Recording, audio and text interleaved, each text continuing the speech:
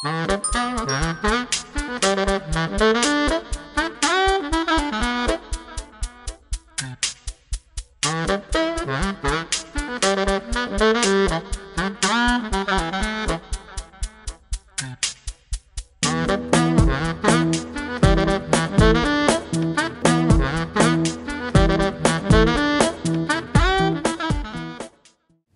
à toutes, bonjour à tous, installez-vous, puis soyez les bienvenus à la Maison des sciences de l'Homme-Alpes pour cette nouvelle conférence du cycle Avenue Centrale. Nous avons aujourd'hui le plaisir d'accueillir Gilles Favaret-Garrigue euh, autour donc de ses réflexions euh, dans ce livre, Fier de punir. Donc Gilles, vous êtes directeur de recherche au CNRS, euh, Sciences Po série, et vous avez donc publié euh, cet ouvrage euh, en 2019, et plus récemment, il y a exactement un an, vous avez publié, d'ailleurs je crois sous presse ou déjà publié également chez Stanford, mais en français, La verticale de la peur, ordre et allégeance en Russie poutinienne. Voilà. Donc on a euh, deux ouvrages euh, fabuleux. Alors euh, celui-ci a eu euh, donc les, honneurs du monde. Il a été dessiné comme un livre bluffant et c'est vrai que c'est un livre, on va le voir euh, par son contenu, qui est assez assez euh, étonnant par justement l'expérience de ces pseudo-justiciers que vous détaillez dans, dans cet ouvrage à, par, à partir d'une documentation très très développée. Donc vous avez une demi-heure pour nous partager finalement cette expérience des justiciers hors la loi. Et ensuite, nous aurons le plaisir de poser nos questions. Merci à vous, Gilles. On vous écoute. Merci beaucoup, Laurent. Merci pour euh, l'invitation. Je suis très heureux de, présenter ce livre devant vous. Donc, euh, Fier de punir, le monde des justiciers hors la loi. Euh, au cœur de ce livre, alors c'est des figures qui sont assez euh, repoussantes, hein, autant vous le dire tout de suite, hein, qui sont euh, celles des, des justiciers, des gens qui s'autoproclament justiciers, des redresseurs de tort, de ceux et celles qui décident de prendre la loi entre leurs mains. Et euh, derrière toutes ces figures de justiciers autoproclamés, il y a une détestation de la justice officielle. C'est-à-dire que tous les justiciers autoproclamés prennent la loi entre leurs mains parce qu'ils trouvent que la justice euh, officielle est défaillante, trop lointaine, trop absente, trop procédurière, trop laxiste, etc. Et euh, ils décident donc de le faire pour se substituer à cette justice qui juge absente et à cette police qui juge insuffisamment présente également. Tous ces justiciers sont les partisans d'une justice sommaire, expéditive, euh, intransigeante. Et s'il y a bien quelque chose qui les caractérise tous, c'est que selon eux, il ne faut jamais faire de compromis, jamais transiger, jamais euh, essayer de justifier ou d'expliquer en quoi que ce soit des actes illicites, aussi bénins soient-ils. Euh, et ce qui est le titre, Fier de punir, il nous venait du fait. Euh, alors, ce livre, il a été rédigé avec Laurent Gaillet. Hein, on est deux auteurs. Je suis le représentant d'un binôme présentement. Et c'est ce livre qui vient d'être traduit à Stanford University Press sous le titre Proud to Punish, ici, que vous avez à l'écran. Et euh, notre volonté, c'était en fait pour écrire ce livre, ce qui nous a frappé, c'est que tous ces justiciers, ils adorent se mettre en scène. Ils adorent se montrer en train de punir. Ils adorent multiplier les contenus sur les réseaux sociaux, sur Internet, montrant à quel point ils sont intransigeants. Et du coup, ça nous a renvoyé aux réflexions de, de Michel Foucault dans, dans, dans, Surveiller et punir, dans lequel il expliquait que finalement, dans les, euh, dans les processus qu'il étudie, dans Surveiller et punir, on en arrive à des formes de sobriété punitive, avec l'idée que les exécutions publiques n'étaient plus faites en public, mais étaient faites dans des lieux clos. Hein eh bien, justement, eux, les justiciers qu'on étudie, c'est pas ça du tout. Eux, ils sont, ils le font en public, ils assument de le faire, ils revendiquent de le faire, ils sont fiers de punir. D'où le titre. Hein. C'est une référence à la volonté, justement, de sortir de ce paradigme de la sobriété punitive. Et ils se donnent en spectacle. Alors pourquoi le monde des justiciers hors la loi? Ben Pour trois raisons. La première, la première c'est que dans ce livre, moi je suis un spécialiste au départ de la Russie, j'ai fait la plupart de mes terrains en Russie, d'où l'autre livre qui est présenté là, qui, qui est vraiment sur la politique euh, russe.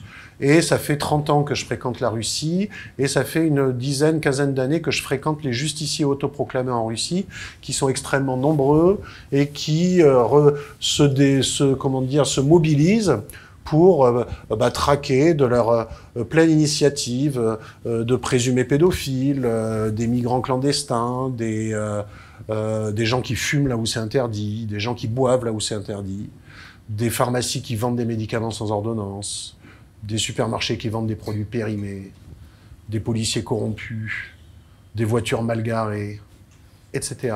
Et dans tous ces cas, bah, ils patrouillent hein, entre jeunes, bien musclés, toujours avec des caméras à la main, pour essayer, d'une part, de punir les gens qui contreviennent à la loi, d'autre part, de créer à partir de cela des vidéos qui mettront le lendemain sur leur chaîne YouTube afin de recueillir des clics et de gagner de l'argent. Donc le cas de la Russie, il était particulièrement intéressant parce qu'on voit des justiciers entrepreneurs, c'est-à-dire des gens qui, sous couvert de euh, prendre la loi entre leurs mains, euh, entendent euh, gagner de l'argent avec ce type d'activité. Mais donc dans ce livre, donc moi je suis un spécialiste plutôt de la Russie. Laurent Gaillet, c'est quelqu'un qui est spécialiste sur le sous-continent indien. Il a beaucoup travaillé en Inde et au Pakistan. En Inde où il y a beaucoup beaucoup de groupes d'auto-justice aussi, par exemple qui défendent les vaches ou qui défendent ou qui sous couvert d'un agenda islamophobe aussi vont s'inventer euh, euh, tout un tas de missions pour patrouiller dans l'espace public. Et on a décidé dans ce livre, un exercice un petit peu périlleux, de faire un panorama mondial de ces pratiques-là. C'est-à-dire que moi, c'est la première fois de ma, de ma, vie que, par exemple, je me retrouvais à écrire des lignes sur des pays où je ne suis jamais allé, hein, mais où je fais confiance aux sources secondaires que j'ai utilisées dans ce cas-là, par exemple sur le Mozambique ou sur, sur la Bolivie. Donc notre volonté, c'est vraiment de faire un panorama mondial des formes d'autojustice. Notre deuxième volonté, c'est le, terme de monde. Pourquoi le monde des justiciers hors la loi? C'est parce qu'on a voulu entrer dans leur monde. Et très souvent, ce sont des gens qui produisent beaucoup d'énoncés, les justiciers hors la loi, qui passent beaucoup de temps à justifier ce qu'ils font, à expliquer pourquoi qu'ils le font, au nom de qui, au nom de quoi, pourquoi ils sont légitimes à faire régner la loi, pour que surtout on ne se dise pas, tiens, ce sont des jeunes en train de se défouler, parce que bien souvent, c'est le cas. Mais en réalité, eux, ils disent non, on n'est pas des jeunes en train de se défouler, on est des jeunes en train de maintenir l'ordre. Un ordre qui n'est pas suffisamment maintenu par les pouvoirs publics, par la police et la justice. Et donc on a été très très sensible à ces énoncés justiciers, à ces manières justement de revendiquer ces formes d'autojustice et à leurs pratiques. Et c'est des pratiques punitives. Hein. C'est-à-dire que c'est pour cela que euh, c'est un livre assez... Euh, enfin comment dire, euh, qui met en scène des personnages peu recommandables hein, quand même, hein, c'est-à-dire euh, qui savent se battre, qui en tirent du plaisir, qui souvent font souffrir les gens qu'ils ont avec eux, qui créent, qui ajoutent finalement euh, aux punitions légales leurs propres peines, qui sont souvent des châtiments physiques, qui essaient de marquer les corps. Et la troisième raison pour laquelle on emploie le terme de monde, c'est parce que le monde des justiciers hors la loi, c'est aussi le monde dans lequel ils se situent, et c'est donc les controverses qui, suscitent. Parce que bien souvent, tous ces justiciers autoproclamés finissent par créer scandale. Ils font scandale parce qu'à un moment donné, ils vont s'en prendre à quelqu'un qui a des contacts haut placés qui va susciter une mobilisation contre eux. Ou alors, euh, leur volonté de, de justice va se mêler avec un désir de vengeance qui va être identifié et qui va permettre de les voir uniquement comme des euh, personnes sanguinaires plutôt que comme des justiciers. C'est des amateurs du maintien de l'ordre. Contrairement à la police, l'amateurisme est inhérent à leur activité. Donc fatalement, ces justiciers finissent par commettre bah, des sortes de bavures de justiciers, d'écarts, d'excès, et de choquer la population. C'est la raison pour laquelle on est dans un paradoxe dans le rapport à la norme chez ces justiciers autoproclamés.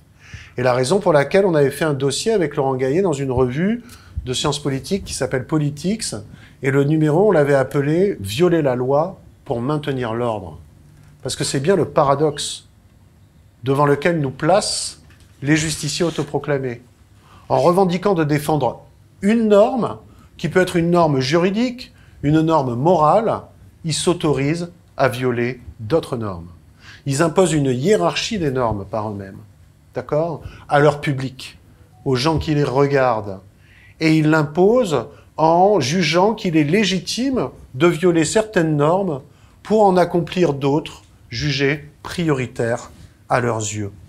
D'où l'oxymore qu'on a employé, violer la loi pour maintenir l'ordre, mais aussi cette expression de justicier hors la loi, hein, qui essaie de capter justement ce paradoxe, euh, cette contradiction qui est au cœur de l'action justicière. Euh, dans le livre, on a voulu essayer de faire un continuum de ces pratiques d'auto-justice. On est parti, en fait, on peut dire qu'on part des pratiques qui sont réputées les plus autonomes par rapport à l'État, jusqu'aux pratiques qui sont le mieux intégrées dans l'appareil d'État. Et on part d'une pratique euh, qui porte un nom, alors un petit peu barbare en français, qu'on a essayé d'introduire dans le débat français sans aucun succès, il faut le souligner, mais qui part de l'anglais en fait, et qui en fait qui part de l'espagnol. C'est-à-dire qu'au départ, on a ce terme espagnol vigilante, vigilantes, qui va être récupéré aux États-Unis à la fin du 19e siècle et qui va former un substantif qu'on appelle vigilantism en anglais. Et nous, c'est pour ça qu'on parle de vigilantisme. Vigilantisme, c'est pas la vigilance. C'est pas les voisins vigilants. Les voisins vigilants, c'est un dispositif créé par la gendarmerie pour essayer, dans un moment où il y a moins de gendarmes et des contractions budgétaires, de euh, rendre plus efficace l'action dans des endroits où la gendarmerie n'est plus. Mais c'est un dispositif gouvernemental. Le vigilantisme, c'est des initiatives par le bas. C'est des gens qui décident, vous et moi, par exemple. Là, on pourrait décider, nous, que ce soir, on va les patrouiller dans le centre-ville de Grenoble, parce que réellement, il y en a marre de ces problèmes de stupéfiants. Ça, c'est du vigilantisme. Parce que là, on va s'organiser. On va se dire, tiens, on va y aller, on va prendre une caméra avec nous. Que dit la loi? Qu'est-ce qu'on a le droit de faire? Qu'est-ce qu'on n'a pas le droit de faire?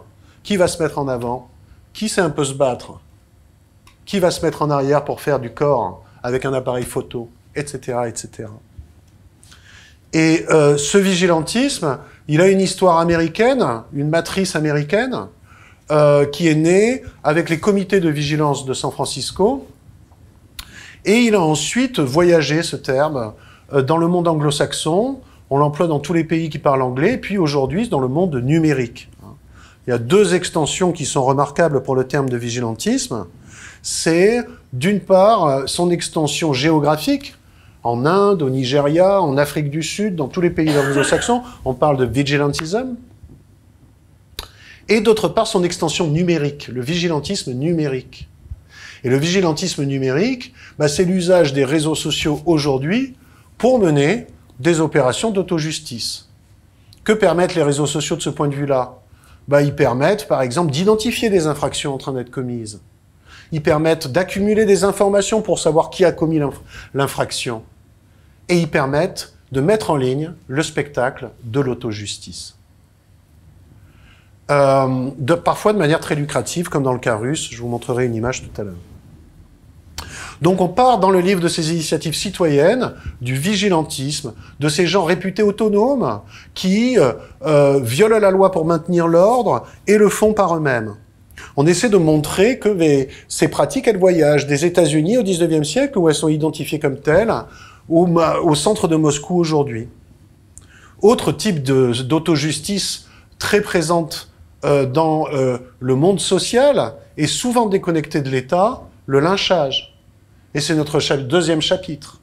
C'est de montrer précisément comment le lynchage, là aussi issu d'une matrice américaine, revendiquant d'exercer la justice, devient aujourd'hui ce qu'on appelle en Inde le WhatsApp lynching, c'est-à-dire les lynchages sur WhatsApp, qui naissent de rumeurs sur WhatsApp, rumeurs qui permettent de concentrer les gens avec une émotion particulière autour d'une personne ciblée, WhatsApp qui permet ensuite de recueillir des informations sur l'auteur d'une infraction pour essayer de voir où il habite, quel est son nom, etc. Et WhatsApp qui va ensuite permettre de diffuser les images du lynchage, proprement dit. Ok? Donc on ne peut pas dire que le numérique ou les réseaux sociaux inventent l'autojustice ou inventent le lynchage. Mais en tout cas, elles en accélèrent le processus, processus qu'on voyait déjà. Parce qu'en fait, ce qu'il faut bien comprendre, c'est que ces formes d'auto-justice, elles s'adressent toujours à un public. Hein? C'est pas des formes d'auto-justice qui consistent à faire disparaître un corps sans savoir et puis en se disant voilà, hein, un criminel en moins. Non, il faut que on puisse suggérer à un public ce qu'on a fait. C'était déjà le cas dans, aux États-Unis au 19e siècle, où par exemple, lorsqu'on pendait quelqu'un, ben, on laissait le corps visible. Parce que ça a envoyé un signal, d'une part, aux éventuels voleurs de chevaux euh, qui voudraient encore euh, revenir dans la région, et ça a envoyé d'autre part un signal à la population locale pour dire, regardez, nous les justiciers, nous vous défendons. Et ça, c'est quelque chose de très très important dans ces formes d'auto-justice-là, c'est que justement pour qu'on ne les prenne pas comme des opérations de vengeance, des défoulements, un déferlement de haine, eh bien il y a besoin de dire forcément que cette auto-justice, elle est menée au nom d'un groupe, au nom d'un collectif. C'est le mandant de l'auto-justice, celui qui donne mandat. Bon, mais bien sûr, on lui demande pas toujours son avis à ce mandant. Mais en tout cas, on revendique d'agir en son nom. Alors ça peut être quoi? Bah, Ça peut être les voisins. Ça peut être euh, euh, les propriétaires de bétail. Donc une classe économique plutôt, vous voyez, les possédants. Ça peut être le peuple en général. Ça peut être la veuve et l'orphelin. Les justiciers antipédophiles en Russie, y compris lorsqu'ils seront recrutent dans les partis euh, euh, néo-nazis, revendiquent tous d'agir pour défendre l'enfant innocent. Et c'est évidemment ce qui donne de la force à leur discours. L'idée de dire, regardez, nous sommes peut-être d'affreux néo-nazis, mais nous sommes socialement utiles, puisque nous contribuons à arrêter, à empêcher de nuire quelqu'un que nous vous suggérons d'imaginer plus dangereux que nous. Donc il y a l'autojustice, c'est aussi ça, c'est-à-dire toujours l'idée qu'on va se revendiquer euh, euh, d'un collectif qui vous donne le droit d'exercer l'autojustice. Les autres, euh, autre chose qui est important dans, dans ces phénomènes d'autojustice, que ce soit le vigilantisme et le lynchage, c'est de se demander, mais quelle est la cause défendue par les justiciers autoproclamés? Au nom de quoi? Cette fois pas au nom de qui, mais au nom de quoi se mobilisent-ils et là, c'est d'ailleurs, c'était un peu, c'était indiqué dans le résumé de, la réunion d'aujourd'hui. Il est évident que toutes ces figures d'autojustice répondent à un archétype qui est celui d'un homme blanc réactionnaire. C'est-à-dire que l'autojustice, c'est avant tout une sorte de mode d'action violent au service des dominants qui entendent défendre leurs propriétés, leurs biens, leur famille, l'honneur des leurs, etc. Hein. Dans la matrice américaine de l'autojustice, c'est bien ce qu'on voit, c'est-à-dire c'est des histoires de protection du bétail, puis dans les histoires de lynchage, de protection des femmes blanches euh, présumées violées euh, par euh, des, des, personnes noires qui du coup vont être lynchées. Donc on a des narratifs comme ça où, lorsqu'on maintient l'ordre, c'est finalement l'autojustice est une manière de maintenir l'ordre. Mais de quel ordre parle-t-on? Ça peut être un ordre légal, ça peut être un ordre moral quand des néo-nazis se, s'improvisent justiciers antipédophiles, ben ils le font parce qu'ils veulent promouvoir un agenda LGBT-phobe, en fait. Hein? Donc on a un ordre légal, on a un ordre moral, on a un ordre social, un ordre sexuel. Dans le cas du lynchage aux États-Unis, c'est évident. La femme est cantonnée au rôle de victime à défendre. Souvent, ces ordres se superposent. Ok? On peut avoir du même coup, d'un coup d'un seul, par exemple, là aussi, si on reprend le cas russe de ces justiciers néo-nazis antipédophiles, en effet, ils sont là pour faire respecter l'ordre légal, mais aussi l'ordre moral, mais aussi l'ordre sexuel. Et donc, ces ordres-là, ils se superposent. Mais bien souvent, en tout cas, ce sont des mobilisations qui visent à maintenir l'ordre existant, l'ordre tel qu'il est. Or, aujourd'hui, cette, euh, cette idée, elle est bousculée par des formes d'autojustice qui se placent au service de causes jugées plus progressistes. Et ça, c'est intéressant, c'est-à-dire qu'il y a des travaux depuis quelques années, depuis quelques dizaines d'années, essayant de montrer quand l'autojustice devient une arme pour les dominer, par exemple. Euh, un anthropologue comme Goldstein, qui travaille en Bolivie, pourra par exemple montrer que dans les quartiers les plus pauvres, selon lui, les lynchages ou les tentatives de lynchage sont des coups de clairon, c'est l'expression qu'il emploie, envoyés au pouvoir public pour obtenir plus de sécurité dans les quartiers pauvres. Que le lynchage serait en quelque sorte une forme radicale, cruelle, de négociation avec les pouvoirs publics pour obtenir plus de droits. Sans aller jusqu'à de telles extrémités, il y a deux causes aujourd'hui qu'il nous faut réfléchir sur le caractère fondamentalement réactionnaire de l'autojustice. D'une part, c'est la cause féministe, d'autre part, c'est la cause de la défense de l'environnement. Avec le vigilantisme numérique, la dénonciation est une forme de coercition exercée et exercée au nom d'une cause générale progressiste. C'est-à-dire qu'avec cela, il ne s'agit pas en réalité de maintenir l'ordre. Il s'agit de dénoncer l'ordre existant pour revendiquer plus de droits. Vous voyez? Donc c'est quelque chose de différent. C'est-à-dire qu'à ce moment-là, l'autojustice est un véhicule pour la revendication de droits. Et dans le cas de l'environnement, c'est tout à fait euh, intéressant de voir l'évolution des mobilisations radicales en faveur de l'environnement depuis une cinquantaine d'années, depuis une cinquantaine d'années notamment aux États-Unis, au Royaume-Uni, où dans les années 70, il y a des actions radicales menées au nom de la défense de l'environnement. Le terme en anglais pour ces gens-là, par exemple pour des gens euh, qui vont euh, euh, mener des actes violents, par exemple des atteintes à la propriété, des atteintes aux biens, pour libérer des animaux, pour dénoncer le traitement des animaux, etc. Ben, le terme anglais qui sera employé dans la presse pour eux, c'est Animal Rights Vigilantes. C'est le même mot, vigilante, qui est employé. Parce que ce terme de vigilante, il a toujours une charge un petit peu controversée, c'est-à-dire l'idée que c'est à la fois rassurant vigilante, mais un petit peu inquiétant. C'est-à-dire de quel droit peut-on porter atteinte à la propriété pour défendre une cause jugée juste? Et c'est cette question qui est posée là-dedans. Alors il y a toute une littérature hein, aux, aux États-Unis anglo-saxonne là-dessus qui est euh, très intéressante et je pense que c'est des sujets vraiment importants aujourd'hui euh, d'étudier parce que ça pose la question de l'usage de la violence dans les mobilisations pour l'environnement. Hein, et c'est des débats qui euh, tiraillent les milieux concernés par cette cause. Autre chose, donc dans ce livre, on commence par ça, par les mobilisations, disons les formes d'autojustice citoyenne, entre guillemets, c'est-à-dire en tout cas déconnectée de l'État a priori. Je rentre pas dans les détails, mais le a priori est important parce que bien souvent, quand on gratte, on peut trouver des relations avec les pouvoirs publics un petit peu implicites, un peu cachées, etc. Mais enfin, je vais pas, on pourra aborder ça dans la discussion si vous voulez.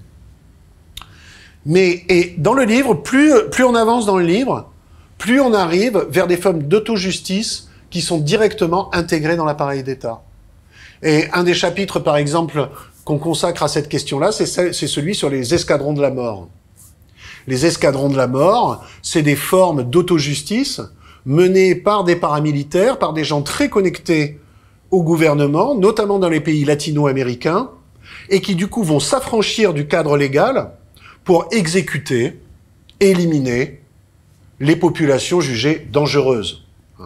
Un bon exemple de cela, c'est les Philippines sous Duterte. La guerre contre la drogue dans les Philippines sous Duterte. Escadron de la mort, c'est une forme d'auto-justice qui vient du Brésil à la fin des années 50 et qui a ensuite essaimé en Amérique latine et plus et ailleurs euh, également.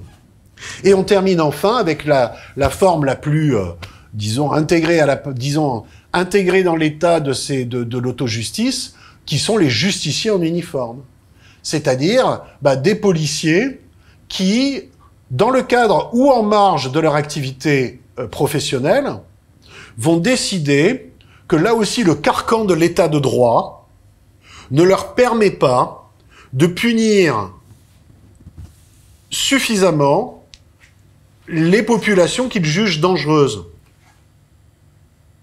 Ça veut dire que euh, dans leurs heures de service ou hors de leurs heures de service, ben, ils vont s'affranchir du cadre légal pour mener des expéditions punitives afin d'éliminer des populations jugées dangereuses. Ça, on le voit dans beaucoup de pays aujourd'hui, que ça soit encore une fois en Amérique latine ou que ça soit euh, aux Philippines ou, euh, ou, ou ailleurs encore. C'est ce qu'on appelle les justiciers en uniforme. C'est-à-dire des gens, et on en voit la tentation, hein, y compris euh, dans nos pays, avec parfois des discours euh, des euh, syndicats de police les plus radicaux, selon lesquels bah, le problème de la police, c'est la justice. Pour reprendre le slogan employé dans une manifestation policière qui s'est tenue devant l'Assemblée nationale il y a deux ans. Le slogan, c'était le problème de la police, c'est la justice. Qu'est-ce que ça veut dire? Ça veut dire que pour régler le problème de la délinquance, bah, ça serait plus efficace de se passer de la justice. Et donc cette tentation de l'autojustice, on la voit surnager, y compris dans nos contextes. Et ça, c'est quelque chose d'important pour nous. C'est de se dire, parce que là, je vous ai parlé de Russie, des Philippines, de l'Amérique latine, puis on va sortir de la salle en se disant, bah, tout ça, c'est très loin. Mais non, la volonté, dans notre livre, c'est d'essayer de désexoticiser au maximum la question dont on parle. De pas dire bah, l'autojustice, c'est les autres. Pas du tout. Et justement, une question qu'on se pose dans ce livre, c'est, je terminerai avec ça, c'est et la France dans tout ça? C'est-à-dire, une fois qu'on a fait le tableau d'une sorte de continuum des pratiques justicières dans le monde, et la France dans tout ça? Sur le chapitre lynchage, on commence avec des scènes d'ouverture à chaque fois. C'est notre manière d'écrire, c'est-à-dire on a des scènes d'exposition pour chaque chapitre, un petit peu écrites, mais pas forcément dans un style universitaire, pour essayer de rentrer dans une situation particulière.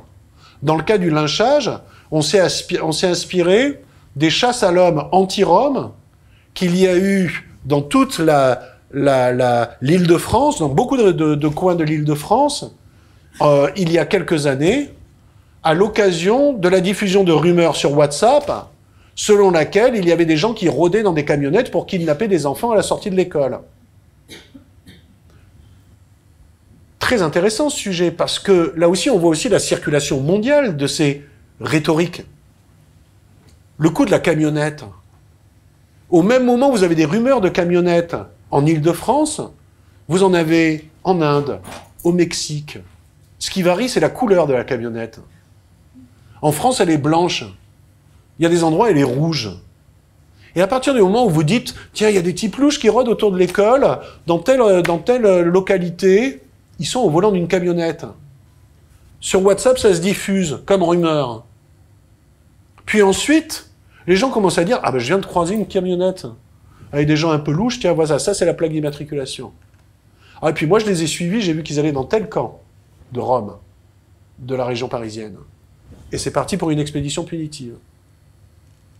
Ça se terminera sans mort, cette fois-ci, mais ce à quoi on a assisté, c'est des tentatives de lynchage en France, aujourd'hui.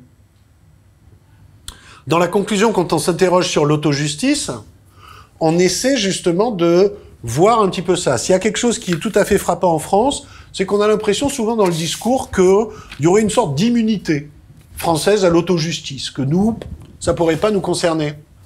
Parce que, et c'est pas complètement faux, les questions de police sont perçues majoritairement comme des questions devant être résolues par l'appareil d'État, par la police, par le régalien, etc. C'est pas complètement faux, mais on voit des exceptions.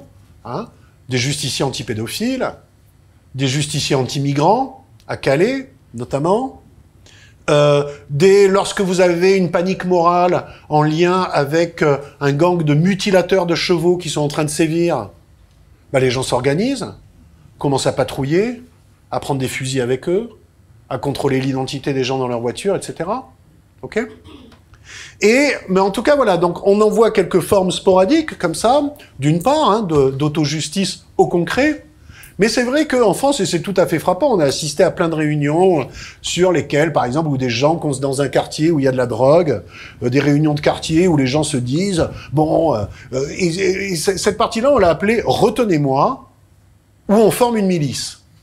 Et ça, on a l'impression que c'est le cas français, ça.